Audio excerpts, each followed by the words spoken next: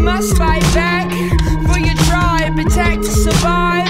What you stand for is really up to you. Never let another soul tell you what to do. Reasons should resonate deep from your own core. You are the warrior, fight for your own war. When it's time, please keep in mind you are a. Warrior